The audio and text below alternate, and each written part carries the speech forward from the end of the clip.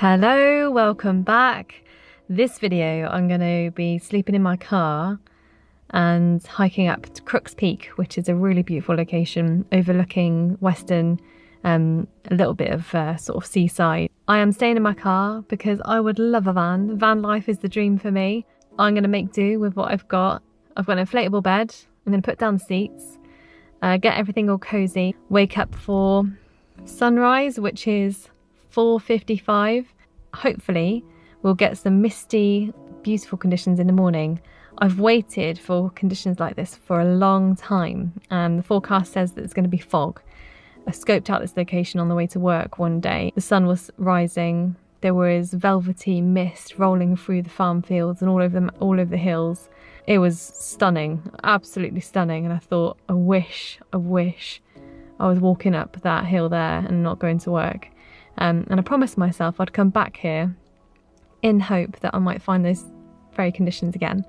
So uh, let's get to it. Let's set up the bed and create car life instead of van life.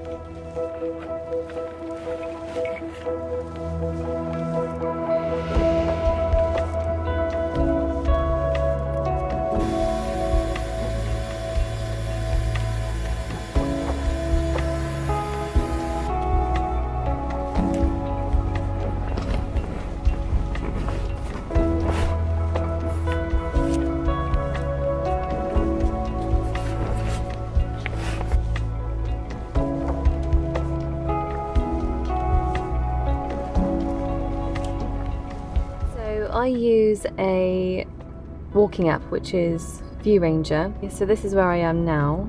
This is Crooks Peak um, and if I zoom in to the location I am now, just bear with me doing this with one hand. Um, I just want to see how many tracks go up. Um, I think I'm along here, um, which would make a lot of sense. So um, I've passed this one already, which is the lay-by I mentioned to you guys. And there's various tracks along here that seem to go to join this main one that leads all the way up to the top of Crooks Peak. So we're all set up for the night. It is really cozy. yeah, I still have my Citroen C1 and it's the seats are down. This is my headrest and it's quite dark but it goes all the way back um, to the back of the car. I don't think I'll be able to stretch out long enough, but it will do. I'm here for sunrise, it doesn't matter. Car life so far, not working, not working out to be as good as my van experience. It never will be. However, I'm here with a purpose. Comfort doesn't matter. Getting here for sunrise is all that counts. So I'm going to hit the hay and see you guys in the morning. Good morning. It is currently four in the morning. I set my alarm for half past three. Um, been awake for the last sort of 15 minutes and it's not looking like it's misty from where I am. The temptation is to head down to a little lay-by where there's a really good view over the valley um, and have a little look, but I'm not going to do that because I think my motivation of thinking about that would be to see if it's uh, misty, is it worth hiking up? If it's not, don't bother, go home. Now, I don't know why my brain automatically chooses an exit strategy, but I'm going up this hill no matter what, even if there's mist, no mist, regardless, I'm doing it.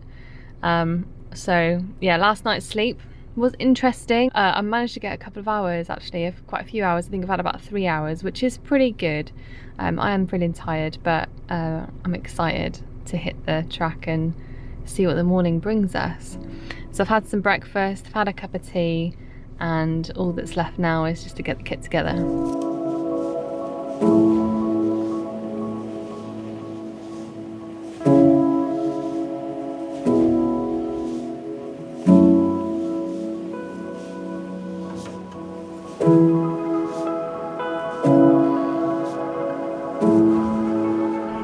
Myself wrong and the mist is here which I'm so grateful for.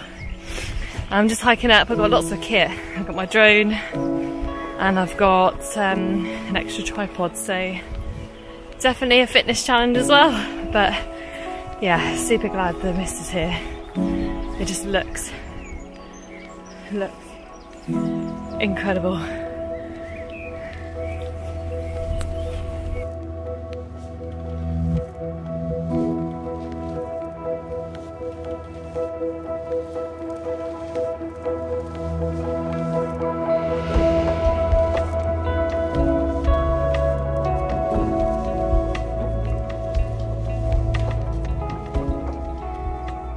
Almost at the top. I can see in front of me this beautiful, stunning light. The sun hasn't risen yet. I'm not quite at the top, but I can see patches of fog in this direction here. I can just about see it. Almost at the top.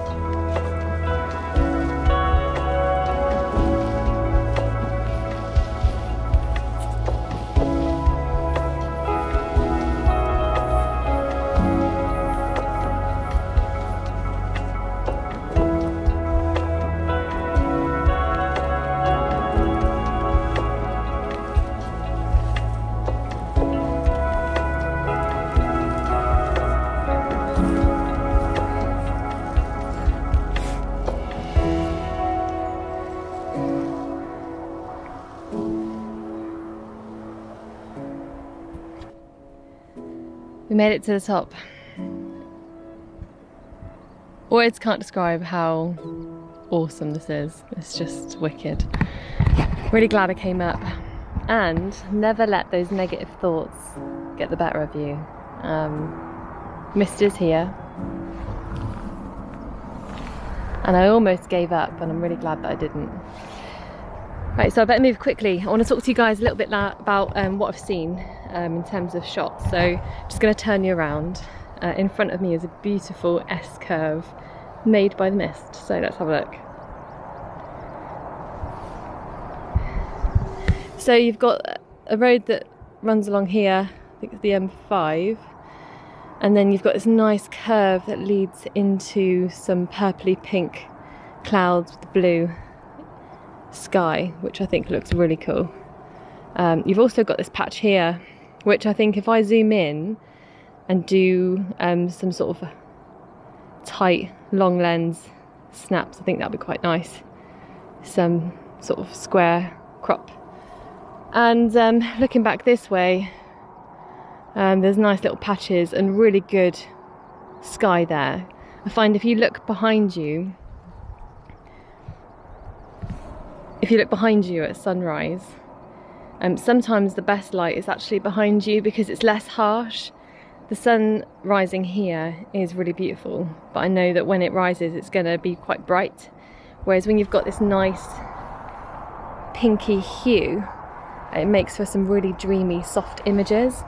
So I'm going to get the tripod out, get set up, but this is my first composition and it's nature's very own S-Bend.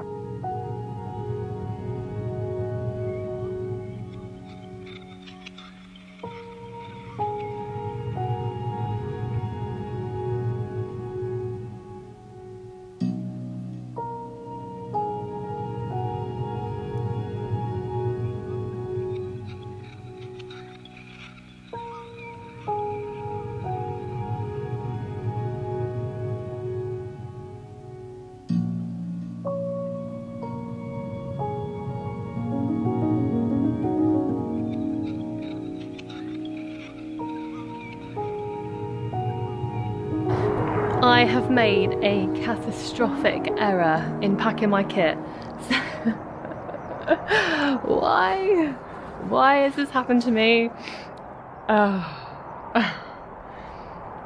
my attachment that goes on the end here, I took out because I packed a different camera for a trip that um, never happened. I was going to go to Dartmoor and I was going to have my um, smaller lightweight camera in doing so, I swapped over um, the attachment. Uh, when I was packing for this kit, I've swapped over the lenses knowing that I had a different lens on, but I didn't think about the uh, tripod mount. So that means I can't use the tripod. But it's fine. Luckily, these conditions don't require a tripod. I can just shoot um, with a higher shutter speed to keep it nice and steady. light's so soft um, and dreamy. So I think I should be okay. But lesson learned, second proper trip of this year and I've forgotten the most important thing. But hey, we're all learning. The sun is just rising now. So I'm going to frame up this one and uh, I'll turn you guys around so you can see my second shot.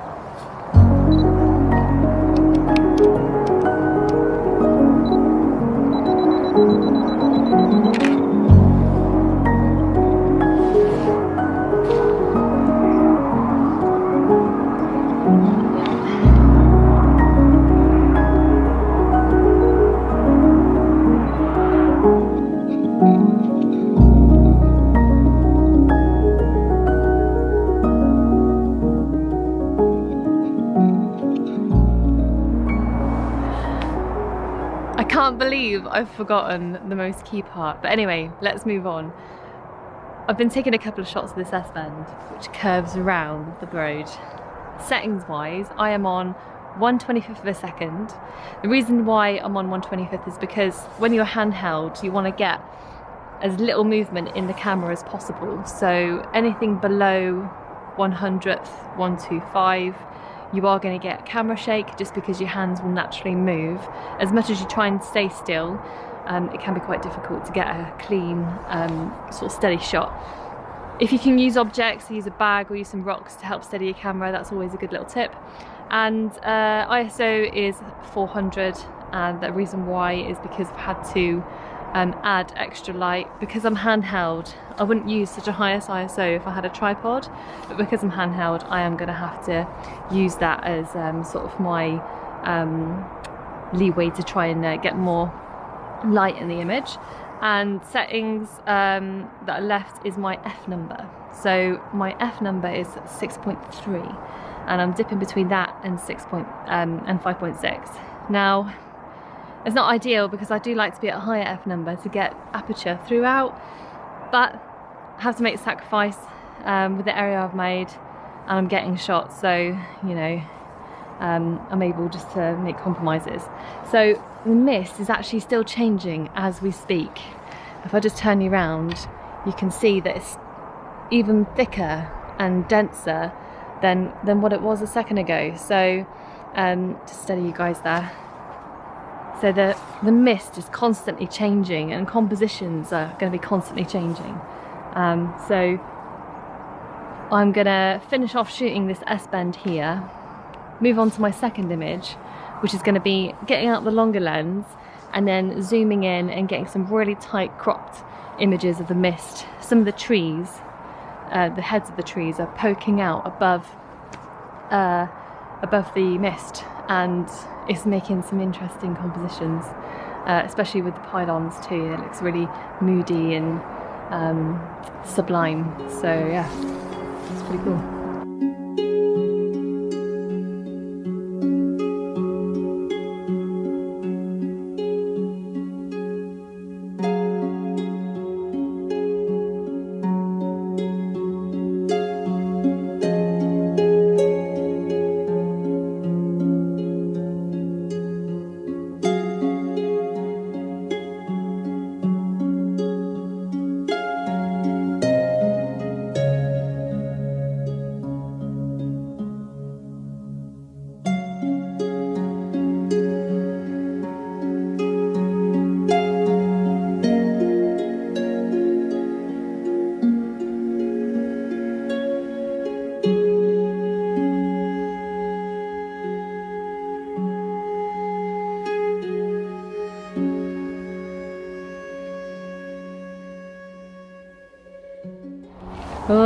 Getting chilly.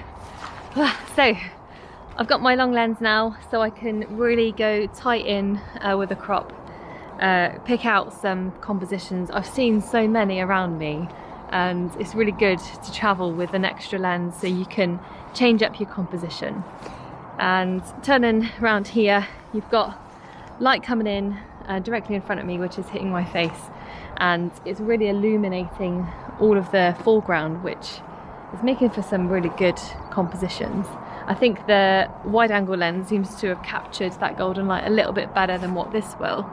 But we'll give it a shot, see how the light changes and pick out just a few more compositions using a sort of a tighter, uh, cleaner uh, crop. So change up settings and see how we're doing.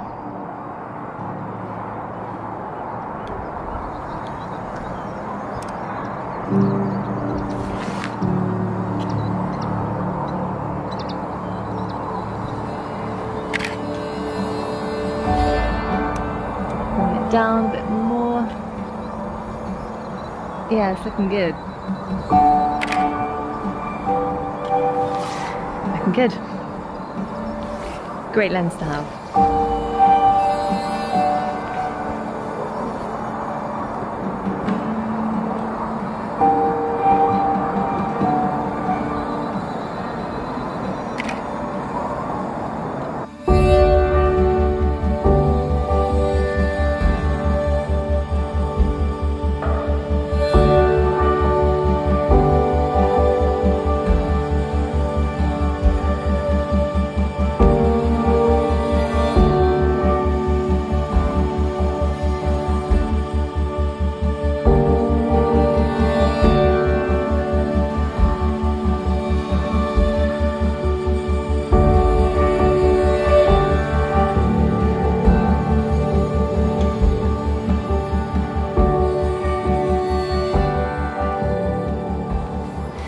Oh, I feel like paparazzi shooting with this. Moving around uh, this top of this hill, there are compositions in every direction and I'm trying to frame up one that is a little bit um, unique and using the light is um, a bit of my challenge this morning. So shooting into the sun is something I don't normally do and I've composed a shot where you actually have the sun in the image, all of the light in the foreground and uh, the rolling mist um, beneath the hill. So I'm going to put that one on the screen now. Let me know what you guys think of this one.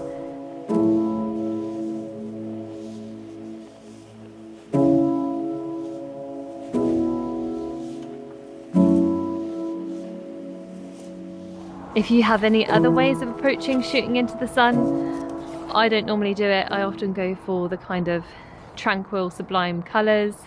Um, anything that's too bright or over saturated I tend to steer away from. Not that I don't like that photography, it's just not my kind of style and everyone's got their own their own um, personality and individuality with their uh, imagery. Let me know what you guys think of that one. Up ahead of me here, I should turn you guys around so you can see what I'm talking about. You have apologies for the mic getting in shots. You have these little row of trees here, which are almost like Spanish trees. They're really long, really tall, beautiful trees. Um, using this is quite good because you can really crop in. And walking up, I saw these surrounded by mist and I was so tempted just to stop and take a couple of shots. But I thought, no, I'm gonna miss the light if I don't get up the top of this hill. So I missed that shot. But what's really good is once I'm up here, I can now look back at that composition that I was um, scouting out on the way up and I can now shoot it. So it's always good to um, bank compositions on your way up, scan around you as you're walking and uh, really take in all angles of where you are. More compositions will probably come to light as you hit the top. So that's what's kind of happened with this one. We'll see what the image looks like. If it's not very good, then I might not put it on the screen. Uh, we'll see how it turns out.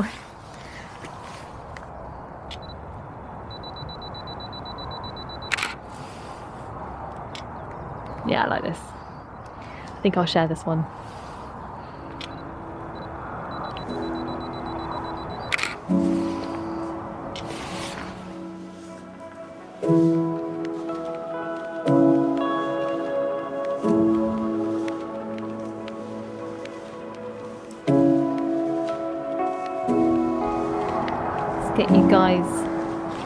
Angled upright.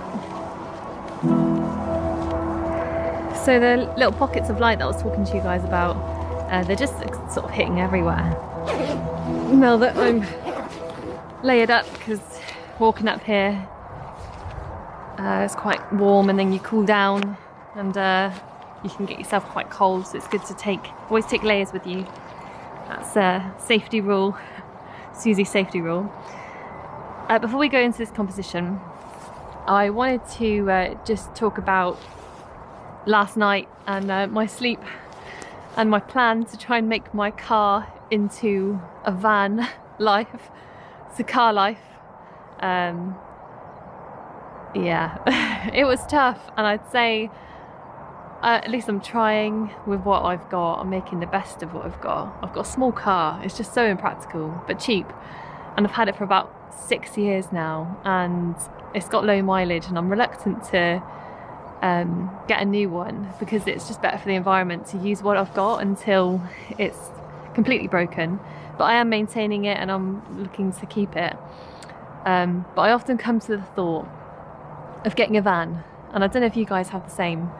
It's one of these dreams that uh, we all think um, will complete us or complete our photography. But then I come to realise that actually it's the effort you put in and it's putting yourself in the locations. You could sleep anywhere, you could sleep in a tent, um, you could sleep in your car, but the hard bit is actually getting there. And I think a van in my mind is just an easier process a more comfortable process. And I know that it will be, but actually the first hurdle is getting to the location and placing yourself there so you can take those shots. And that's that's what I need to remember. So a van may happen soon, but it's not happening yet, and I'm going to make do with what I've got. Um, put the effort in to try and get to locations. If that means driving early hours of the morning, that means driving early hours of the morning, or sleeping in my car, or a tent. I really don't mind. The main thing is, is that I'm out shooting. So I thought you guys might find that interesting. Some of you that may idolise van life after going around Iceland, it's really made me uh, want to get one, but I have to remember that it's an expense involved. And I'm yet to buy a house, so I think that's probably more important than buying a van, but some might disagree with that.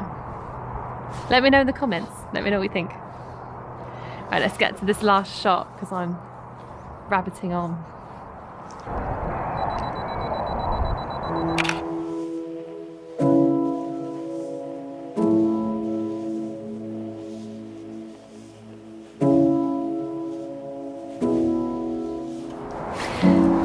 That is the end of this video. I hope you guys have enjoyed it. Please stay tuned to any more of my videos. I'm going to try and film I say this every video, but I am genuinely putting in the extra effort now that COVID's lifted. Woohoo!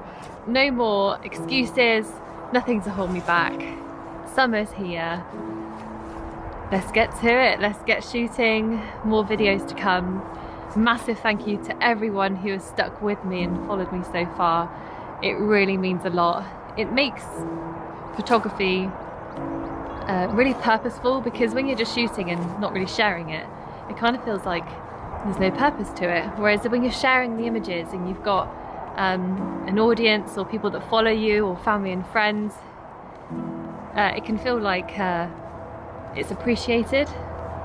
So I'm here because I'm here for myself, you know, I want to be in nature, I want to capture nature, but the final cherry on the top is sharing it with people and connecting over a, a mutual interest. So Thank you so much for following me and watching my videos and I'll see you guys in the next one, wherever that may be. Take care.